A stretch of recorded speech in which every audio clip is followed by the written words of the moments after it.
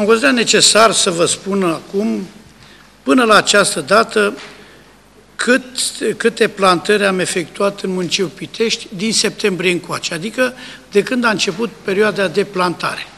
Și anume, conifere, 579 de bucăți, arbori, 540 de bucăți, arbuști, 848 de bucăți și gard, fire de gard viu, 10.181 de bucăți de garviu. Uh,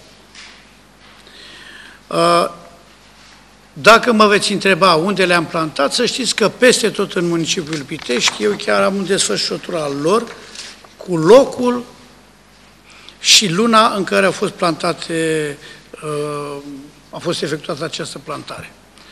Spre regretul meu, încă sunt cetățeni sau încă sunt distrugeri, să nu spun eu mai mult, încă sunt distrugeri de, uh, de garduri vii, dar chiar și de, de pomi. Ce ori fi având cu ei, eu nu știu. Fiindcă există atâtea mijloace de încercarea forței, există atâtea mijloace în care să-ți consumi energia.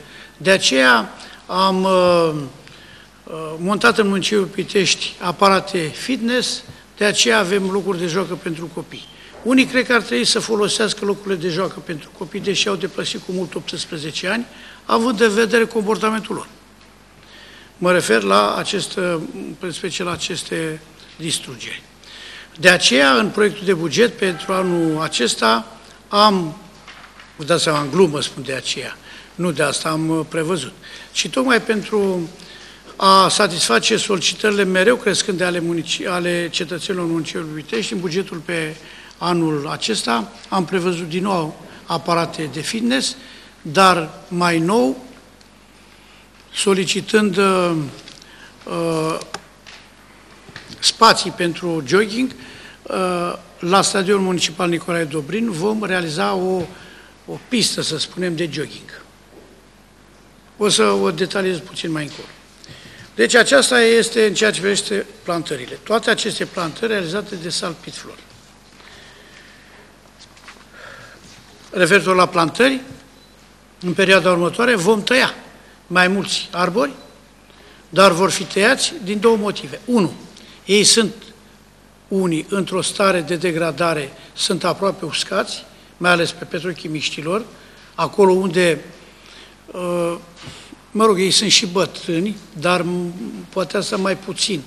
Uh, însă, știți bine, iernile când uh, le-am dezăpe, când am dezăpezit uh, străzile, am, s-a dat cu antiderapant. Antiderapantul afectează pomii. La, uh, la fel și pe calea București vom avea uh, niște tăieri de arbori, dar și ca urmare a urmarea unor boli. Dacă, dacă dumneavoastră veți fi atenți când mergeți pe petrochimiștilor sau aici pe calea București, veți vedea o ciupercă albă pe trunchiurile copacilor. Aceea este o boală care, sigur, uh, a dus la fenomenul de uscare a lor. Uh, am discutat cu protecția mediului, am realizat tratamente în cursul verii, în cursul primăverii, toamnei, nu, nu dispare. Dar ei sunt afectați și se usucă. În locul lor, în același loc, vom uh, proceda la scoaterea uh, rădăcinilor și vom pune alți tei. Deci vom respecta aliniamentele. Aliniament de tei avem pe calea București, tei vom pune.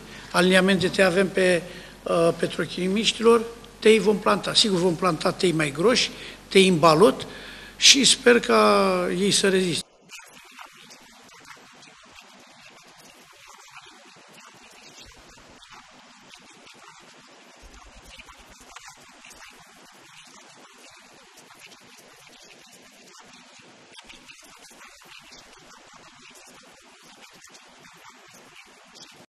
Sinfonia Lalelor, ediția 37 anul ăsta, uh, va beneficia, sigur, ca și în anii anteriori, de prezență, sperăm noi, internațională, de o afluență de public, doar a devenit un brand al nostru. Mai mult, dorim și în această perioadă uh, o echipă de colegi din primărie se ocupă de un program al Sinfoniei Lalelor, astfel încât acel program să fie inclus, sau parte din el, în pachetele turistice pe care le promovează agențiile de turism din Pitești. Din Pitești, din Argeș și uh, avem o singură, un singur semn de întrebare, o singură necunoscută avem la ora asta. Data. Sigur că, din punct de vedere creștinesc, să spunem, uh, sărbătoarea florilor, florile, uh, a cam coincis în proporție de 60-70% cu uh, data Sinfoniei Lalelelor. Ba mai mult, cred eu că asta este și semnificația sărbătoarea florilor, sărbătoarea în care înfloresc, în general, primele flori din an. Nu vorbim de ghiocii care deja au înflorit. Și cu luându-ne un, o anumită marjă, uh, vom fixa sinfoniale lor de flori. Deci 11, 12, 13 aprilie fixăm data sinfoniei lor. Sperăm, sperăm să nu fim contraziși de evoluția vremii și să nu o schimbăm. Există și această posibilitate. Dar, fiindcă, uitați-vă cum este afară, nu există nicio previziune meteo pe niciun site, nicăieri, pe următoarele două luni de zile. Există numai pe următoarele două, trei săptămâni. De aceea ne e foarte greu. Dar noi trebuie să, uh, trebuie să declanșăm acțiunea. Și o să o fixăm în perioada uh, să se termine pe uh, data florilor. Urmă, pe următoarea săptămână, sigur, vor fi Sfintele Sărbători de Paște.